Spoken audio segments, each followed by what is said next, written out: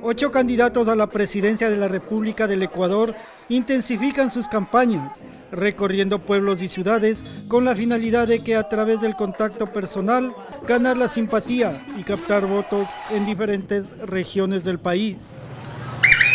Este 19 de febrero, los ecuatorianos asistirán a las urnas para elegir presidente y vicepresidente de la República, 137 representantes a la Asamblea Nacional y 5 al Parlamento andino.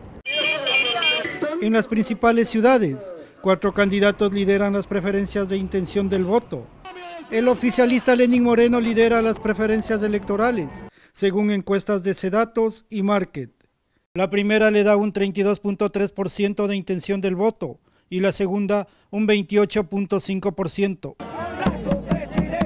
Sobre el candidato que ocupa el segundo lugar no hay claridad. Sedatos dice que es Guillermo Lazo con el 17% de intención del voto, pero la otra firma dice que es Cintia Viteri con el 19.3%.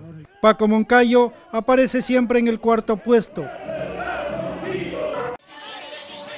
Los restantes candidatos también presentan sus propuestas políticas y económicas pero al parecer aún no han llenado las expectativas de los electores. Porque realmente los candidatos que están para la presidencia no convencen a nadie. Esa es la razón por la que la gente está indecisa.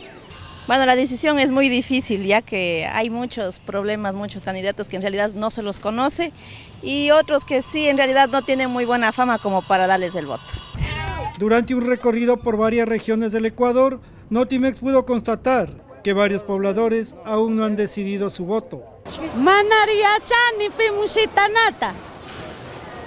¿No sabe por quién votar? No, todavía no sabe. Le diré que estoy indeciso. Por ninguno. ¿Por qué? Porque ninguno me da de comer. Vea, tengo que estar aquí penando para tener que comer.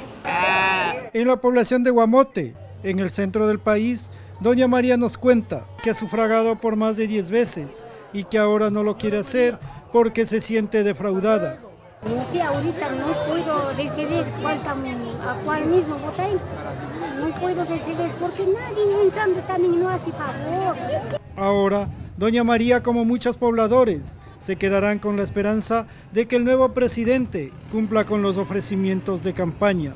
Ocho candidatos a la presidencia de la República del Ecuador continuarán sus campañas para tratar de captar la gran cantidad de votos indecisos y así poderse convertir en el nuevo inquilino del Palacio de Carondelet.